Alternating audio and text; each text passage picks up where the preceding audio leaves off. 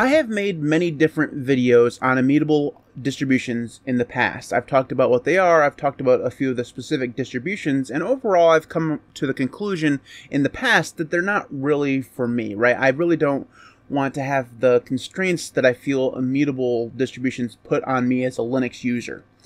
And I think part of that is that even though I, you know, understood what an, a, an immutable distribution was, I didn't really get it, right? I didn't understand the actual benefits to using an immutable distribution. And while I would say that I'm closer to understanding now than I was before, that may be a little bit of a fib given that I'm still learning and trying to understand exactly what these things are and what the benefits are for real usage when it comes to like normal Linux users, right? I, I understand the benefits of them when it comes to like enterprise and, you know, vast deployments of computers.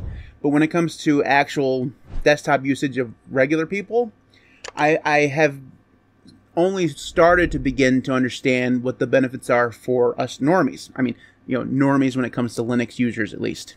Today, though, what I want to do is show you one of the benefits that I have discovered, and that is the ability to switch between different versions of an immutable system very, very easily. So the process of doing this comes to us from a project called uBlue. And it is a very cool project that I don't really understand all of the workings behind. I'm still kind of learning. So uh, the technological aspect of what's actually happening here, I'm not going to be able to explain, but I'm going to be able to show you the outcome of it, and that's what we're going to do today. So before I jump in, if you would be so kind as to leave a thumbs up on this video, I'd really appreciate it. It really does help the channel. So today, what I'm going to show you is I'm going to take a stock brand new version of Silverblue, which is a GNOME-based immutable distribution from Fedora, and I'm going to turn it into several different things. We're going to take a little bit of a journey through several different desktop environments, and I'm going to do it very, very quickly. So let's go ahead and jump in. So the mechanism of doing this, and you're probably still a little bit confused over exactly what we're doing, comes to us from a project, as I said, called Universal Blue, and that's available from a URL called ublue.it or universal-blue.org and I'll leave links to this in the video description. Basically, what this does is it allows you to take a existing version of Fedora and turn it into a different version of Fedora. And when I say version of Fedora, what I'm really talking about is silver Silverblue, Kinoite, things like that. Things that are already immutable can be transitioned from one version to another very, very easily. There are also options for you to build your own images if you want to do so. So if you wanted to create an image with all of your own packages, your select programs that you use for programming or you know development or whatever you wanted to do, you could do that. If you wanted to create one with your own window manager or your your preferred window manager, I should say, you could do that. Now, in the future, I would like to make a video over how to do that. I just haven't gotten around to learning it yet. So today we're going to focus on the easier part, which is transitioning between different versions of immutable Fedora. So first, we're on GNOME right now. As you can see, this is GNOME version 44, maybe 45. I don't actually know. I'm not a GNOME user. You guys know this. But this is Fedora 38, is actually Silverblue 38. And I'm going to first transition us to Kinoite, which is the KDE version of Silverblue. In order to do that, you go to the images of uBlue, which you can find from their homepage, which is this list here. And then you scroll down, you can see that they have several pre-made images for you. Now, when I first heard the term images, I thought these, these were going to be ISOs, right? I thought you could download the ISO and actually install it, but they're not actually that.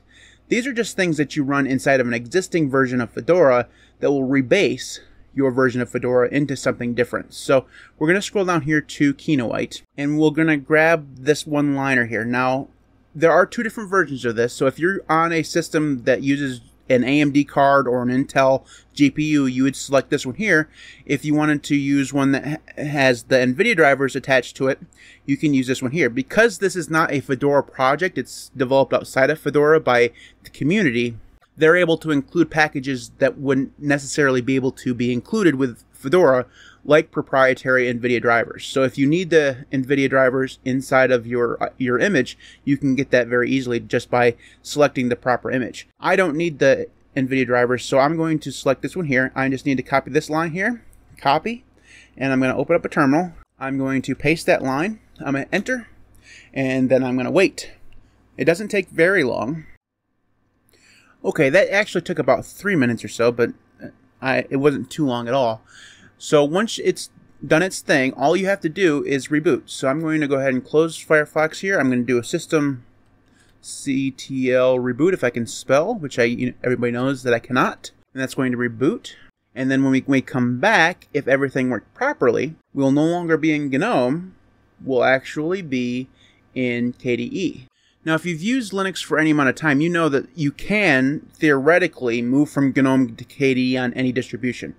That's possible, but it's always a mess because there are a ton of packages and dependencies and stuff that you have to remove from one, you know, install with the other, and it can get very messy and it doesn't always work out the way you expect it to. This was one line, it did its thing, and as you can see, this is SDDM. I'm going to enter my password here, and when it boots into KDE, you'll see that it is actually KDE. Now, there are some questions that you probably have. The first one, and this is the one that I had, was what happens to my personal files, right? If I have things in the in the home directory, do those things get erased when I all of a sudden switch to a brand new system, which is what this feels like you're doing? The answer to that is no. All of your personal files st- stay there. And that's kind of the beauty of an immutable system. You're only changing the underlying layers. All of your user layers stay exactly where they were. They're never touched. So that's the cool part about an immutable system. We just switched from GNOME to KDE in the matter of like three or four minutes without literally any effort on my part. I didn't have to uninstall any of GNOME. I didn't have to install KDE. It all just rebased to this. So now that we've moved from GNOME to KDE, I want to try a second image and see if that will work. So I'm going to copy this link here. We're going to try LXQt. I haven't used LXQt in literal years. So I'm going to copy that. I'm going to make sure I'm using the right version. I'm going to go to here and open up a terminal. I'm going to copy that one line there and hit enter and about three minutes from now this should be done. So that one actually installed a little bit quicker so I should be able to close all the stuff here and do a reboot and see if we actually enter into LXQt. And here we are inside of a very interesting desktop environment that I haven't tried. Actually, I'm not actually sure I've ever tried LXQt now that I think about it. I think the last time I tried LX anything, it was LXDE, which is before LXQt was a thing. So I have no clue what this actually is. It would be fun to explore. But as you can see, we've actually moved from GNOME to KDE to LXQt, all with two lines of terminal commands. That's it. It took took overall approximately seven minutes to do, though there was some editing magic there between actual takes because I mess things up as I usually do. But as you can see, it was very, very easy to do, and we're just there. And even if I have no clue what I'm doing here inside of LXQt, like where the hell is the menu? Uh, that just gives you the to the terminal.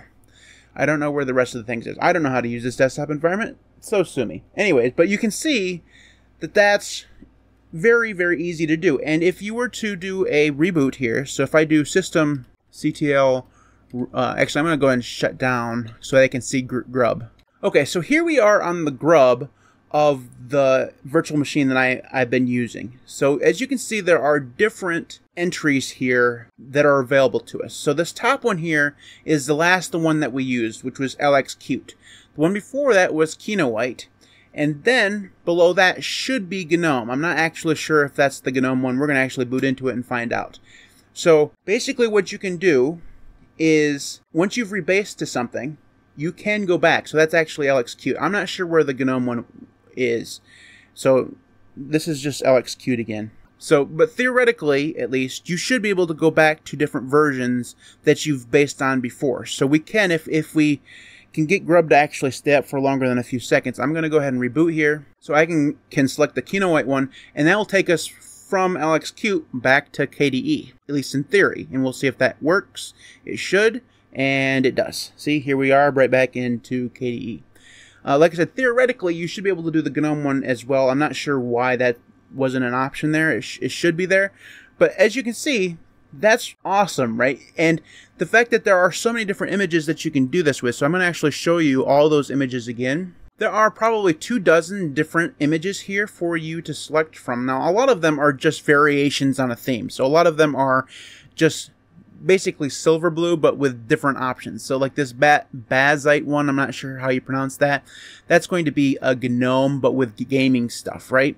There's are four different ones of those. There's one here that's basically a clone of GNOME OS, and it appears that there are more than there are simply because there's usually at least two for each one because a lot of them have uh, NVIDIA versions. And then there's one here for development work, one here that's based on uh, one that's basically Silverblue, and it's kind of for people who have left Ubuntu. There is a Budgie one. There's one for Cinnamon. There's one for Deepin. There's one for Kinoite, which we tried. There's LXQt, which we tried. There's Mate. There's Sericea, if that's how you pronounce it. That's actually Sway Window Manager, if I'm correct. There's you can actually rebase right back to Silverblue if you wanted to. So as you can see, there are a lot of different images that you can choose from. And as you've seen, it's really easy to move back and forth between them. Now, I don't know how well it would work as you stack more and more layers on top of each other. So it's possible that you'd have to remove some of those layers over time to kind of get things to work. I'm not sure about that yet. I haven't tested that out yet. But being able to move from one desktop environment to another, especially ones that aren't necessarily related in terms of technology. So we, we've installed, we had GNOME, which is a GTK based you know, DE, to KDE, which is a Qt based DE, which, and then we went to LXQt, which is also Qt, right? So we could then ins- go back to GNOME if we wanted to just as easily. All we'd have to do is select the Silverblue blue one here and go back to GNOME, which I'm actually going to try here real quick just to see if I can actually do it. Now, like I said, theoretically, the GNOME one should still be on the system. I'm not sure why that's not there, but we're going to go ahead and give this a try. Worst that could happen is I would just have to boot back into KDE. Okay, so that's done. Let's go ahead and see if we can reboot and see if we're right back into GNOME. Ha ha, look at there. It actually worked. And is it gonna, yep, there we go. And it even remembered my wallpaper and everything. Now, it, and it still has my extensions exactly the way it was. So that's pretty cool, right? That has to be the neatest feature of an immutable that I can think of right now. Now, I know there are many other ones like built-in containerization support from like Toolbox or DistroBox or whatever.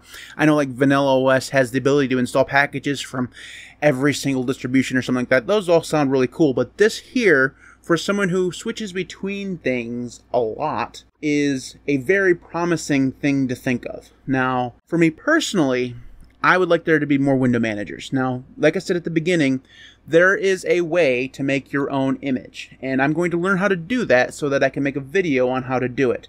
I haven't got there yet. It's not supposedly all that complicated, but we'll see how it goes. I tend to make things more complicated than they need to be, so like I said, we'll see how it goes. So that is uBlue, and that is switching between different versions of Immutable Fedora very, very quickly very, very easily. And I think it's really, really neat. So, if you have thoughts on this, you can leave those in the comment section below. If you haven't already, would you please leave a thumbs up on this video? I'd really appreciate it. It really does help the channel. You can follow me on Mastodon or Odysee. Those links will be in the video description. You can support me on Patreon at patreon.com slash linuxcast. Links for YouTube and PayPal will be in the video description as well if you'd like to support me there. Thanks to everybody who does support me on Patreon and YouTube. You guys are all absolutely amazing. Without you, the channel just would not be anywhere near where it is right now. So thank you so very, very much for your support. I truly do appreciate it. You guys are all absolutely amazing. Without you, the channel just would not be anywhere near where it is right now. So thank you so very much for your support. Again, thank you. Thanks everybody for watching. I'll see you next time.